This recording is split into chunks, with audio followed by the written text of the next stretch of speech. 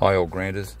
We all know that the uh, the clock in the Elgrand is stuck on the Japanese time zone, uh, but uh, there's a little hack that you can do, and uh, I'm quite happy to say that uh, that now the Elgrand is now on local time.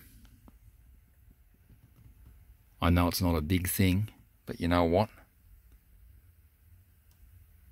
I'm just totally stoked.